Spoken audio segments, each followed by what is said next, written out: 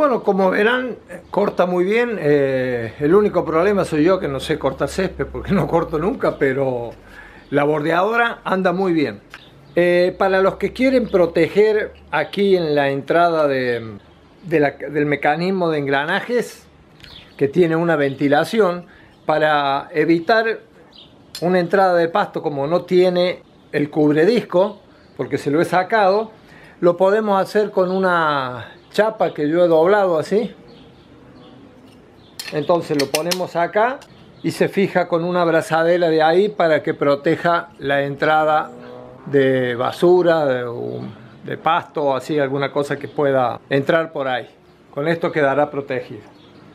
Pero yo por lo pronto lo usé así y no tuve ningún problema.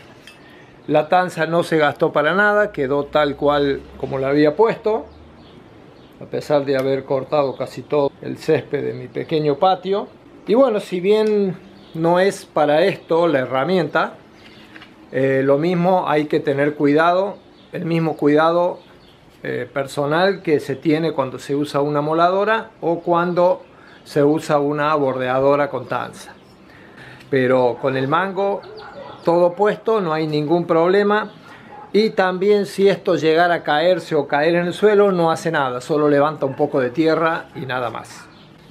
Bueno amigos, esto ha sido todo por el video de hoy. Espero que les haya agradado. Si así fuera, denle un dedito arriba y traten de suscribirse, que eso ayuda a mantener mejor posicionado el canal.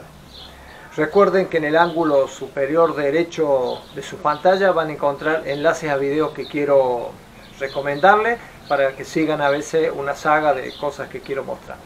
Amigos, será hasta que nos veamos.